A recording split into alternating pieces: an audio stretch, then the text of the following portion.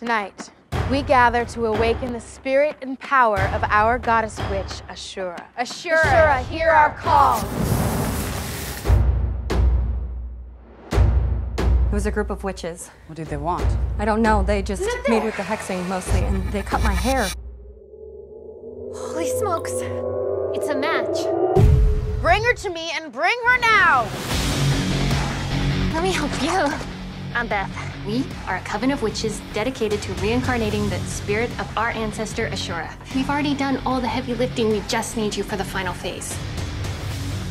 So why should I help you guys gain all this power? Our destinies are intertwined. Together, we will be so powerful. Anything you've ever wanted can come true.